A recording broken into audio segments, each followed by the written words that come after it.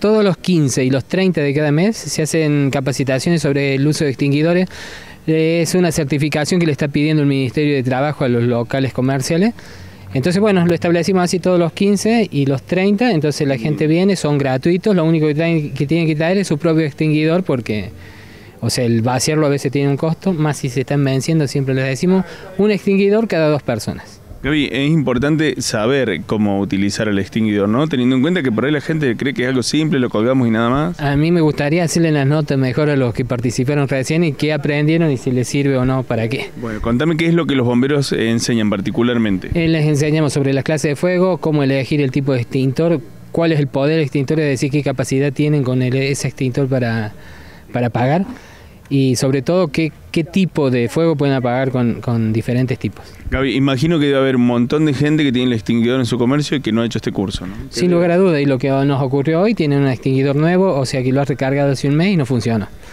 Por diferentes causas, pero hay que tenerlos, es revisarlos periódicamente. Bueno, invitamos entonces, fundamental, es obligatorio 15 y 30.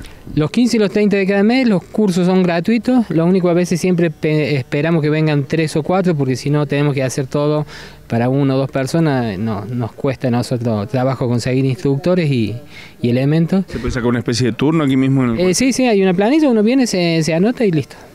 La verdad que es la primera vez que, que tengo un contacto con, con, un extinguidor de la manera que se usa, nunca lo, siempre estuvo en los negocios y todo, pero nunca lo habíamos usado y ahora con este requerimiento que tiene el Departamento de Trabajo lo vinimos a hacer este curso, muy bien, gente muy amable. Todo. bueno aprender todo ese tipo de cuestiones, ¿no? Como por ejemplo, algo que no imaginamos que es identificar el tipo de fuego que tenemos. Sí, sí, sí, la verdad que todo muy todo muy muy muy explicativo y, y, y bien para, para que haya un poquito más de seguridad en el negocio y ese tipo de cosas. Mariano, ¿recomendás el curso a otros comerciantes que deben hacerlo? Sí, sí, claro. A, a, más allá de la, de la norma que le exige que lo hagamos, es bueno para tener el conocimiento de, de qué es lo que hay que hacer y cómo hacerlo.